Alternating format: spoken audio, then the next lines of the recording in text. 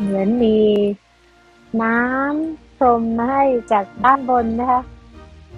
มาหลายครั้งแล้วจำได้ว่าตรงนี้จะเป็นจุดไฮไลท์ของสวนเขา ซึ่งว่าตอนนี้เราอยู่ฝั่งนี้ อะไรที่อยู่ใกล้ๆอะบางทีเราไม่ได้รูปที่มันเป็นแบบสมบูรณ์ แต่ว่าถ้ามีโอกาสนะคะจะเดินไปทางนู้นแล้วก็มองมาทางนี้ แล้วเราจะเห็นว่าตรงนี้เป็นเนินสวย เด่นสง่ามากเลย แต่ตอนนี้ก็ต้องเข้าใจนะคะว่ามาเลทแต่เลทก็ยังดีกว่าไม่มามาเห็นแล้วก็ดีใจนะคะ เพราะว่าก็ไม่คาดคิดว่าจะได้มาจริง ๆ เหมือนกัน